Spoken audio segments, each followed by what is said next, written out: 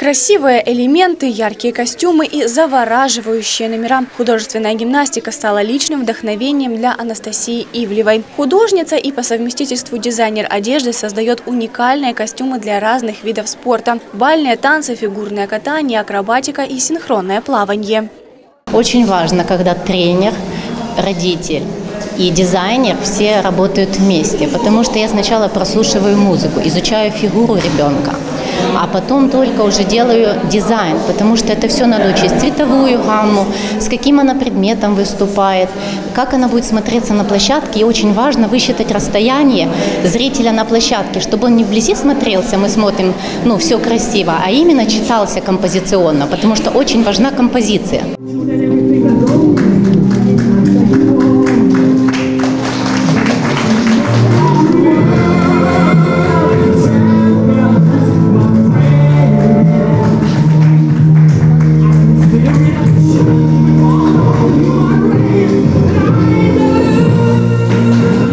Костюмов также можно считать символическим, ведь он приурочен к выступлению украинских гимнасток на Олимпиаде в Токио. Таким образом, организаторы надеются еще раз поддержать спортсменок, которые представляют нашу страну на международной арене. Я была в гостях у матушки Серафимы, и она попросила показать свои работы купальники, так как она с моей живописью и иконописью знакома, а попросила показать работы именно купальников, которые сделаны для спорта, для разных видов. Она говорит, давай сейчас Олимпиада и давай создадим такой проект, он будет очень интересный, необычный, посвященный Токио 2020, чтобы дети были в гимнастических костюмах. Во время перформанса невозможно не вспомнить предыдущие и знаковые победы гимнасток. Президент Федерации Одесской области по художественной гимнастике отметила, что украинские спортсменки всегда демонстрировали высокие результаты, и в этом году их также ждут с победой.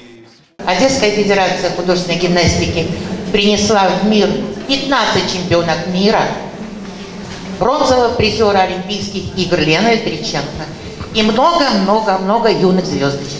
Желаю вам спортивного творчества, успеха, здоровья и родителям огромную благодарность. Настоятельница Свято-Архангела Михайловского женского монастыря уверена, гимнастика – это не только спорт, но еще и искусство души.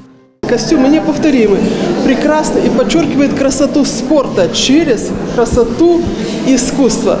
В то же время мы тем самым делаем ударение на том, что наши дети обязательно должны заниматься спортом.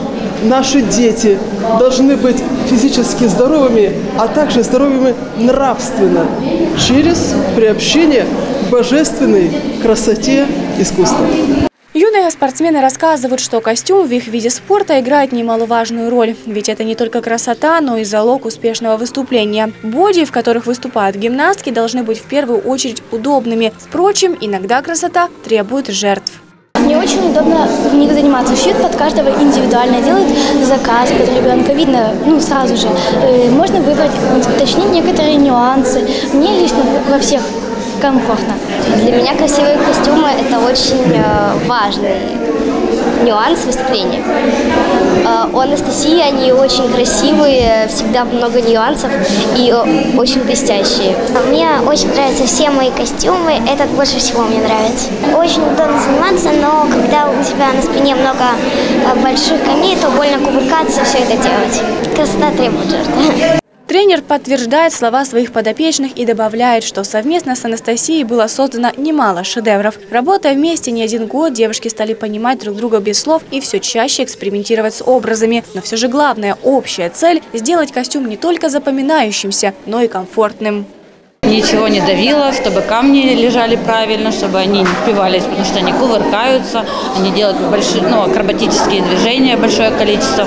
Да, всегда все нормально, если что-то неудобно, всегда все переделывается, всегда все исправляется, все без второго слова. Любую деталь она всегда заменит, переставит, она очень прислушивается ко мне, потому что, ну, как бы, конечный результат должен понравиться мне в первую очередь.